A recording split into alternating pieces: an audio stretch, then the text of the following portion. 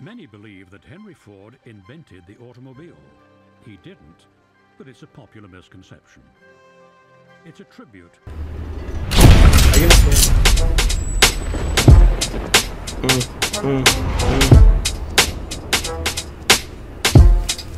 Psycho. Henry Ford set out on a big mission to make a car for the masses that had been missing. He wanted it to be simple and cheap, shooting for reliable, not a heap. When he finished, he started looking at what he'd done. A car that was cheap and fun. Model T, Model T. You know that's a novelty. Model T, Model T. You know that it's a novelty. Everybody loved them because they were so tough. A staple for the people that worked for the stuff. We sold 50 million Model Ts.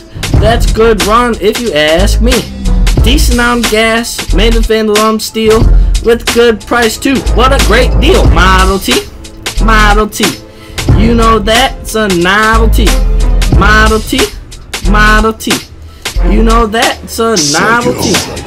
Henry Ford made the Model T. It was a step ahead of everything. Millions got sold, it never grew old. It's still collectible today. Model T went down in history. Model T. You know that's a novelty. Model T. Model T. You know that it's a novelty. Supply thousands of jobs for the hard working. You want a family car? Well, you can stop looking. Hand crank start could break your wrist, but it was still at the top of the list. Ford saw the competitors by the ton. Edsel Ford was Henry's only son. Model T, Model T.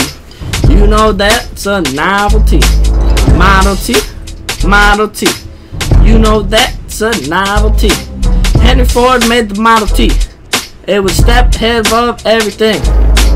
Millions got sold, it never grew old. It's still collectible today. The Model T went down in history.